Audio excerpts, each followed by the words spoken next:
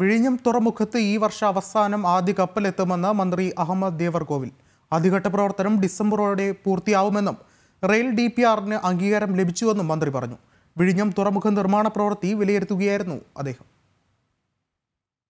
ഇന്ന് രാവിലെയാണ് മന്ത്രി അഹമ്മദ് ദേവർഗോവിൽ നിർമ്മാണ പ്രവർത്തനം വിലയിരുത്തുന്നതിനായി വിഴിഞ്ഞത്തെത്തിയത്. ഉദ്യോഗസ്ഥർക്കും കരാർ കമ്പനി ജീവനക്കാർക്കുമൊപ്പം നിർമ്മാണ പുരോഗതി മന്ത്രി നേരിട്ട് വിലയിരുത്തി. ഇലക്ട്രിക് സബ്സ്റ്റേഷൻ കല്ല് നിക്ഷേപ സ്ഥലം കപ്പൽചാൽ തുടങ്ങിയവ മന്ത്രി സന്ദർശിച്ചു. ഡിസംബർ മാസത്തിൽ തന്നെ ആദ്യ കപ്പൽ തുറമുഖത്തെത്തുമെന്ന് മന്ത്രി അഹമ്മദ് ദേവർഗോവിൽ പറഞ്ഞു.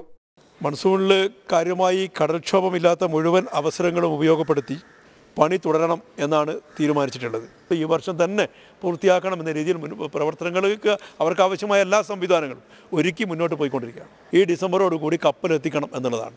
മഴക്കാലത്ത് നിർമ്മാണ പ്രവൃത്തികൾ തുടരും. ആയിരത്തി എണ്ണൂറ്റി പത്ത് മീറ്റർ കല്ല് നിക്ഷേപം അടിയന്തരമായി പൂർത്തിയാക്കും. തുടർന്നുള്ള പ്രവർത്തനത്തിന് വേണ്ട കല്ലുകൾ കേരളത്തിലെ കോറികളിൽ നിന്നും ശേഖരിക്കും. റെയിൽവേ ഡി പി ആർ അംഗീകാരം ഇതിനകം ലഭിച്ചു. ഇലക്ട്രിക് സബ്സ്റ്റേഷൻ പണിയും പൂർത്തിയായിട്ടുണ്ട്. ഭൂമി ഏറ്റെടുക്കൽ പുരോഗമിക്കുകയാണെന്നും മന്ത്രി പറഞ്ഞു. ജനം തിരുവനന്തപുരം.